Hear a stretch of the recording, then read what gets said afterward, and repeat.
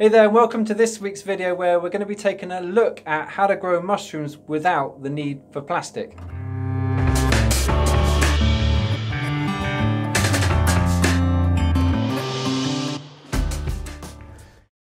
So traditionally lots of gourmet mushrooms have been grown in disposable plastic bags, either like this in sort of large column bags, which a lot of oyster mushrooms are grown like that, or in smaller uh, filter patch bags like this and the obvious problem with that is at the end of the growing pro process, this just becomes a piece of waste plastic. It's almost like a single-use plastic, although it's you know in use for a good few weeks and produces uh, often two to three crops.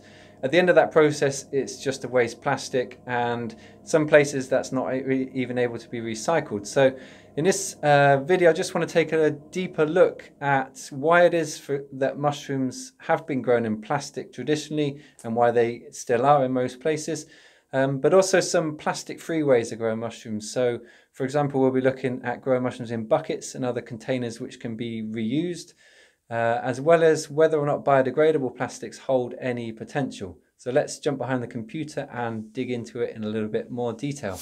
All right, so first up, when I say plastic-free mushroom farming, what I'm really talking about is not using single-use plastic bags. So let's just begin by taking a quick look at why plastic bags are used so widely in mushroom growing. Obviously, plastic is used widely in all areas of life, and that's because it has a lot of really useful properties.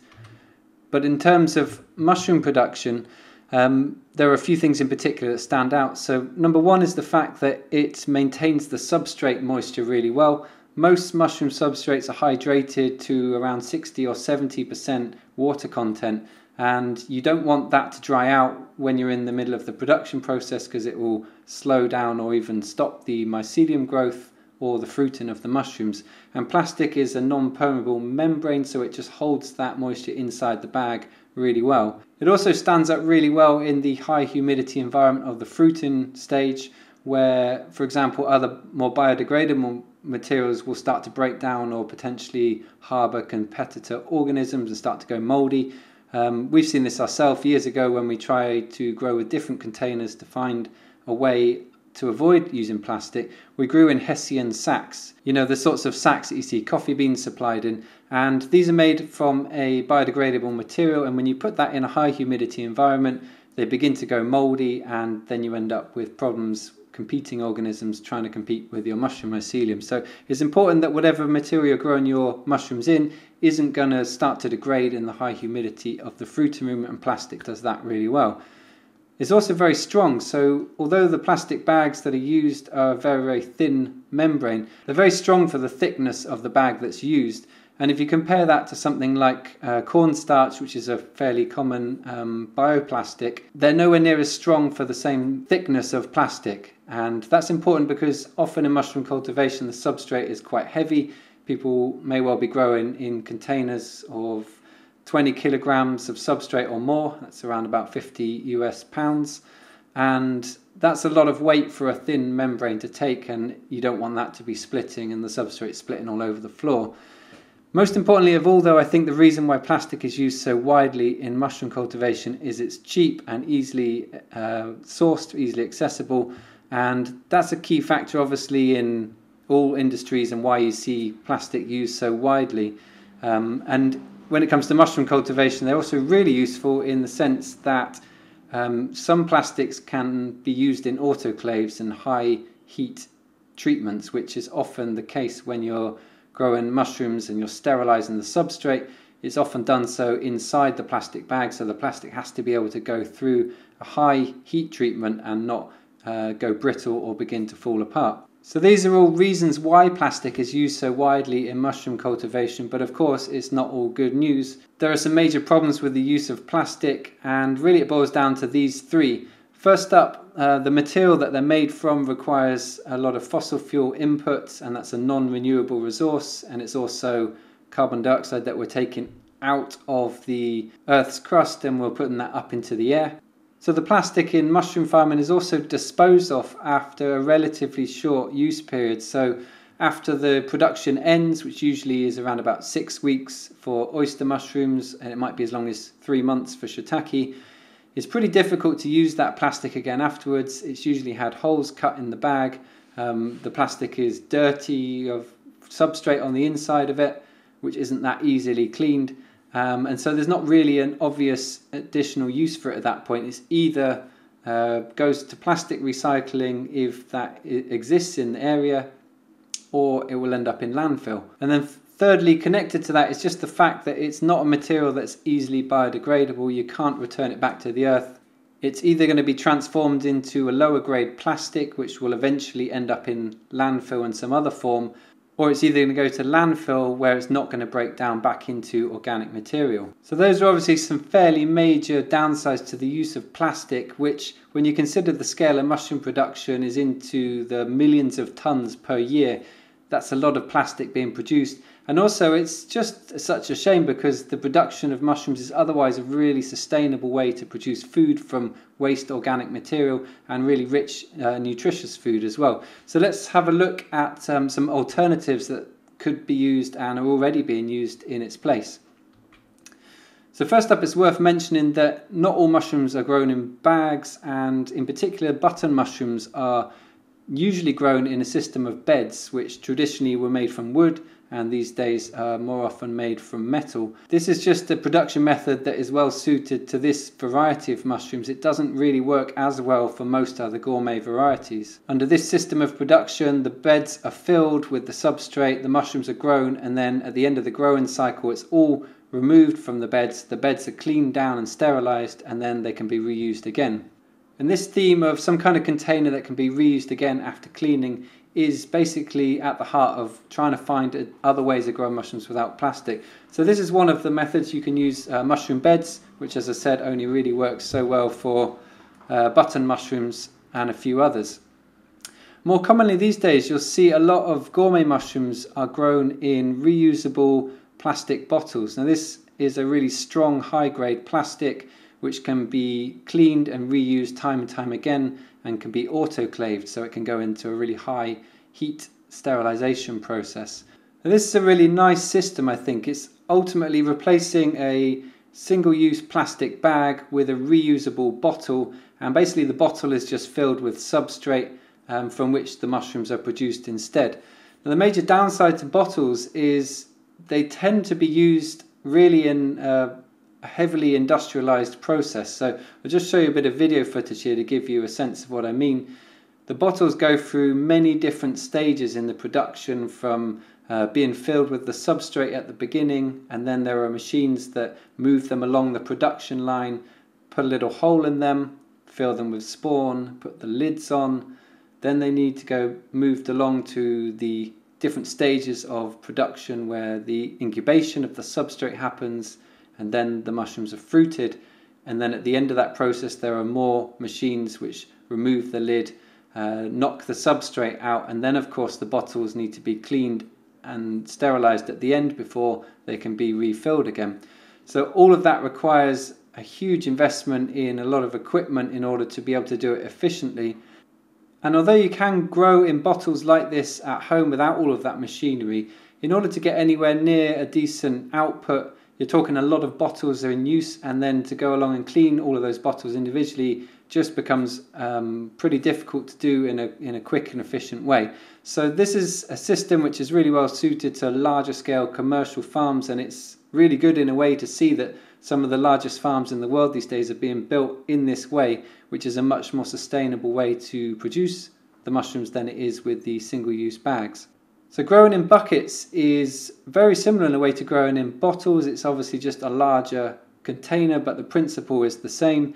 It's a harder, higher grade plastic that you can use time and time again and can just be cleaned out in between. And I think this is particularly well suited for smaller scale mushroom production because um, you can produce a lot of substrate in each bucket and get a decent yield from each bucket without having to uh, be handling thousands of smaller bottles, and obviously it's uh, less individual vessels that need to be cleaned out. Having said that, the major downside to the use of buckets for any uh, mushroom farm, no matter how small or big, is the fact you still need to clean them out at the end. And this is fine if you just have a small handful of buckets, but if you have a few hundred buckets in production and you need to clean them all out, empty out the substrate at the end, and then make sure they're cleaned down really well before they're reused again. It can take a considerable amount of time and which obviously adds a lot of cost to the production. So if you're trying to make it work as a commercial mushroom farm, producing in buckets can be difficult because it adds on that additional level of cost and time input but it is really well suited for smaller scale farms, uh, especially if you really want to try and cut out that use of plastic. So when we rebuild our fruiting room here over the next couple of weeks, we are going to be switching half of our production over to buckets. Um, and the other half will continue to grow in bags for the time being. And we want to grow them alongside each other like this, really just to compare the process and contrast them and see where the major differences are between the two um, both in terms of yield and output, but also in terms of just the process of working with them, moving them to and fro, cleaning them out, and tracking any incidences of contamination and how they compare between the two systems. But I know a lot of other small scale mushroom growers are already using buckets and I really like it as a system. And to me, it seems like the main in- innovation is really just to find a way of cleaning hundreds of buckets in a really efficient, quick manner in a way that you don't introduce contamination into the next batch. So that's something we're going to focus on a lot um, in the next couple of months as we begin to handle hundreds of buckets in our farm here. So there are of course other reusable containers like this. Uh, that cup you see at the top there is something I remember doing probably about eight or nine years ago now. It's a little biodegradable pint cup and I was just intrigued about how, you know, how does it work to make a little mushroom kit inside of a cup like that. Um, to be honest, the yield that it produces was so small because it's such a small uh, amount of substrate that you can fit in a one pint cup. It's around about five to 600 milliliters, and you just get a really small crop of mushrooms. So it wasn't really something that was viable. But you can take the principle and apply it to any other type of reusable container. So I have seen people producing in large plastic storage boxes, and that's really pretty much the same as it is with buckets. You basically just got a nice um, heavy grade plastic that has a much longer lifespan, which you can fill with substrate to grow the mushrooms from and then clean it again afterwards. So, in contrast to those heavier grade plastics that you can reuse and clean, there are some new bags on the market which are being marketed as biodegradable mushroom cultivation bags. And this is something that's pretty controversial. So I just want to say at this point, I am in no way an expert in plastics or biodegradable plastics, and the whole field is actually pretty confusing and complicated. I've spent some time reading into this in a lot of detail, and to me, it seems like the outcome of these bags is not a biodegradable material at the end. So they're basically made from a material called oxo biodegradable plastic and it is effectively a normal plastic which has some additives added to it that enable it to break down the chemical structure of the plastic, enabling it to degrade quicker than a normal plastic would.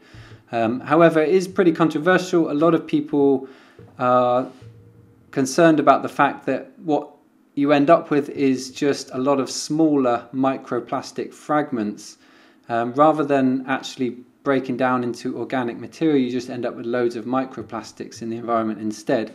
And the European Commission has said that there is no evidence that these plastic fragments will undergo full biodegradation within a reasonable time frame.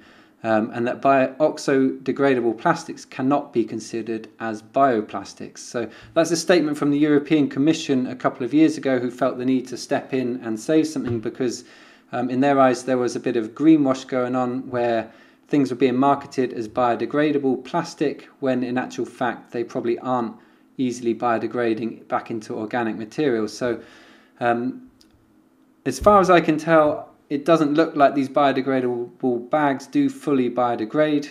Obviously, open to anybody um, explaining it in a way that contrasts to that. But I think, in a way, it is possibly a case of this is something that everybody, every mushroom grower wants a biodegradable bag. No one wants to be uh, using plastics and throwing them away in the way that they are at the moment.